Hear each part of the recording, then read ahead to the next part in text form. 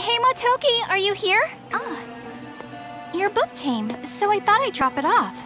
Oh, is this the new guy you're training? Uh, that's Endo? Are you interested in precious stones? Wow, you know your minerals pretty well. Seriously? Motoki's with him again?